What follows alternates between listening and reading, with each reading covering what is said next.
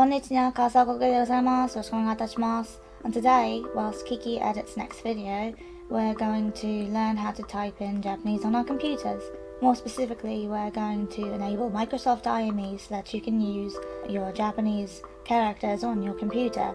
Um, it doesn't matter if you have an English computer. I suppose it should be something that's newer. Um, this is going to be specifically geared towards uh, Windows 10. However, this same sort of method works in earlier versions, unless it's something so early as um, Windows 95. Then it would require some sort of service pack for that. However, the power has been hidden inside of your computer all along. I guess it's time. Let's Nihongo. First, you're going to want to navigate to your search bar and type in Control Panel. Once you go to the Control Panel, you find Clock, Language and Region. Don't click quite yet. You go to Add a Language. Now, here I already have it, however I'm going to show you that it's quite easy to get it. You might have a different experience, but as long as I remove this. Okay, so now, oh look, I do not have Japanese on this computer. Let us add a language. Up top here, you just click. It's very, very simple. Normally you're going to scroll down. This is where your alphabet skills will come in. You scroll down and you click on Japanese. Nihongo. And you don't just click, you have to also click add. Okay, so now um, you might need to wait a moment as it downloads or updates your settings, but other than that, it's right there. Normally you're probably going to just have two of these, maybe either of these, but I like to use more than one type of keyboard because um, UK keyboards are a bit different to um, the American keyboard. However, whenever it comes to this, you already now can type in Japanese. However, I'm going to show you one quick thing so that you understand it a bit better. We're going to, hold on, or should I go back so that you make sure that you can follow along? Okay, we're going to go to options. There we go. And then we go to input method, options. You don't have to change anything. Um, it's very important that your input history because 90% of typing in Japanese is suggestions. It's not like, um, I will explain in just a moment as I show it to you, but um, let's go to advanced settings. Now you should not have to really do much with this. Um, you want to make sure that it's Romaji input. I don't think it would do.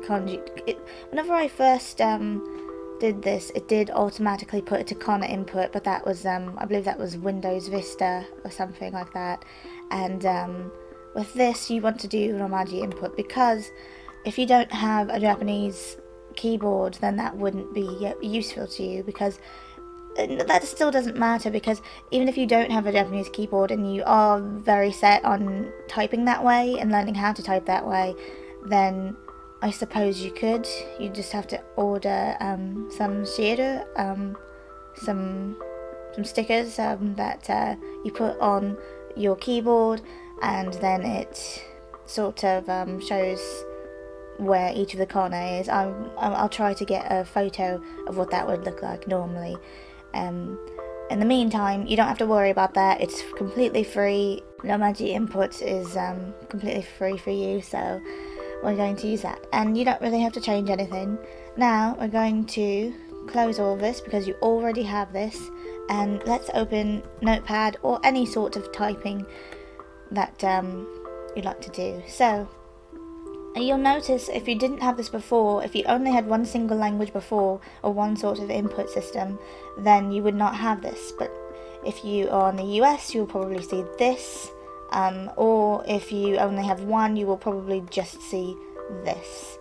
So if if you have an American or a British keyboard um, at the same time you're going to want to click this click the ing for English and navigate to the Japanese and click it now normally it first starts up for you with this this is um, half width alphanumeric um, that is just regular typing so if you do have the issue of switching back and forth from English to Japanese, then you don't really have to do that necessarily. You can just click this and then it changes back and forth.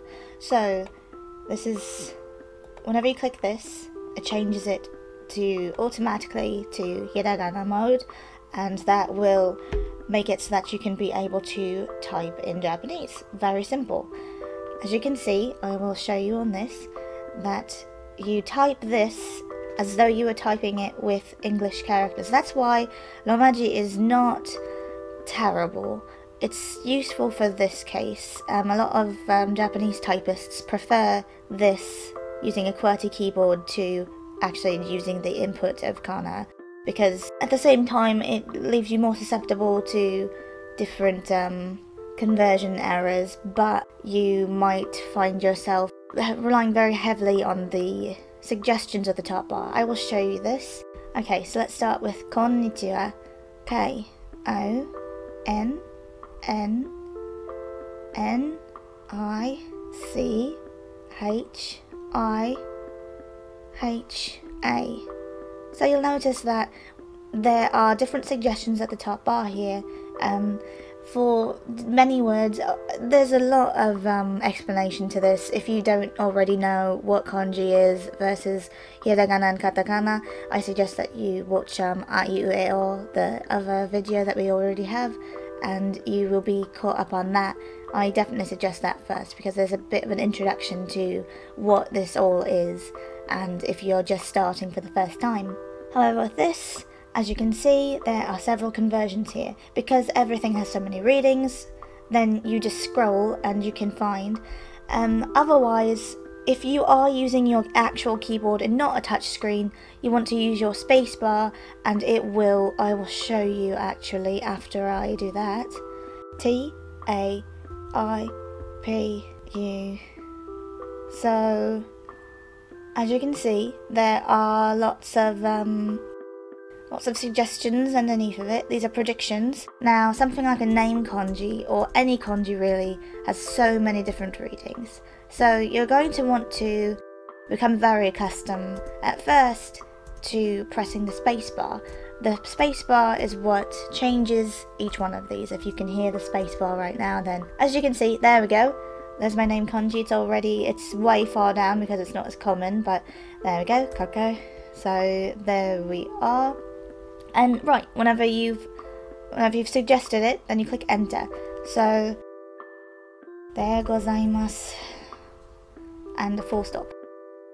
So it's that easy. I want to get more in depth on this some other time, but until then, I will show you a few other tips that you can use while you, you know, mess about with it. So let's right click, go down here, and you right click, and you see here there's half width alphanumeric, half width katakana, and full width alphanumeric, and full width katakana. It's very um, different to each other. Um, let's say we're going to type in full width katakana. That's so ka ta ka na. And it already has it there, but you'll also still have the conversions below so that um, if you do have that setting on, it will not prevent you from using kanji. It's very simple that way and let's say that we're going to use let's see the difference between there's full width and there is half width we will cover the dakuten and handakuten but these are usually in their own category here so that you don't have to they're in their own space so as you can see you can select it specifically so you can use these for very nice um sort of emoji and emoticons and such. So let's see. What else can we do here? Oh, let's say we are going to be one of the cool kids. It's very important. Yes, this is what we're doing here. Because this is what's really all about. It's being aesthetic. So if we use full width, right click, go to full width, alphanumeric, um, you can type and it will suddenly be aesthetic. You'll notice that it's not spaced out as much as you might see in a YouTube comment or something. So what you want to do with that is you can type using hiragana and don't worry about this. Everything looks like that at first, but then see the first suggestion. If you use hiragana and start typing and know exactly what you're typing, then you'll be able to do this. And then you can select this. You can click this as well. You don't need to use a spacebar. Oh, I see. It's not as spaced out as it looks on there. I believe it's because this is Notepad, but if we were using something like um, Google Chrome or any of the other ones, I don't really think about the other ones, um, then you can be able to have it more spaced out. And depending, you can also have different looks to it.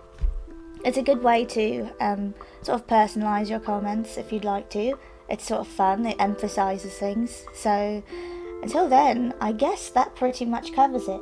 Um, I hope that this was useful to you and that um, and that this will help you on your Japanese learning journey. Um, until then, don't forget to um, like, subscribe, comment using maybe some Japanese, maybe you could just use some English aesthetically. And um, until next time, ご視聴していただいてありがとうございました。